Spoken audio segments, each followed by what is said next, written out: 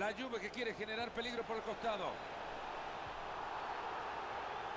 ¿Y qué tal si clava un zapatazo desde ahí y lo mete?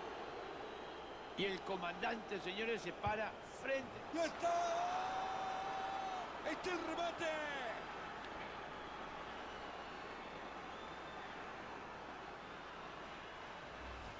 Ha sido un golazo, Mario. No le pegó a la pelota, la acarició.